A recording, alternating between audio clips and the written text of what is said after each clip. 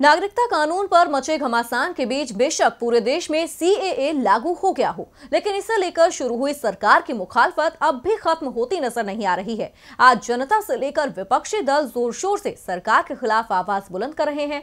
वहीं अब कांग्रेस के दिग्गज नेता पी चिदम्बरम ने भी सीधा पीएम मोदी को घेरते हुए जनता के सवालों पर चुप्पी साधे रखने का आरोप लगाया है।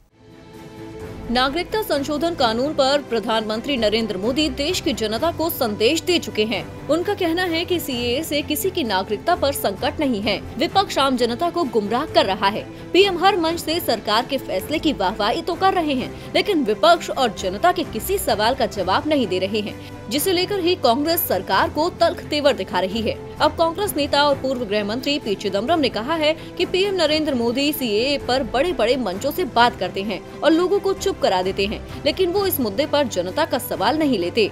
उन्होंने ट्वीट किया, पीएम उच्च मंच से मूक दर्शकों से बात करते हैं और सवाल नहीं लेते। हम मीडिया के माध्यम से बात करते हैं और मीडिया के लोगों से सवाल को लेकर तैयार रहते हैं।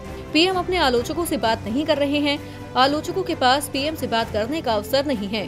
पीएम के पास एकमात्र तरीका ये है कि वो अपने सबसे मुखर आलोचकों में से पाँच का चयन करें और उनके साथ टेलीविज़न पर प्रश्न और उत्तर सत्र करें।